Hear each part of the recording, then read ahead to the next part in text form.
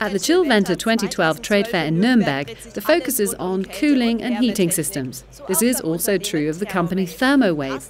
Karsten Tennhardt is Director of Research and Development at Thermowave. Mr. Tennhardt, tell us more about your company.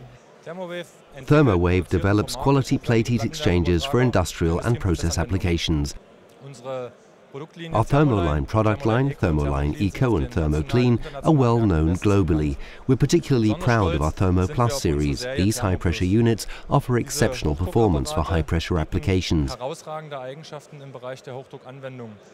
The laser welded modules in our special Thermowave design are uniquely pressure proof. At the same time, this type of screw assembled plate heat exchanger is efficient, maintenance friendly, and cost effective.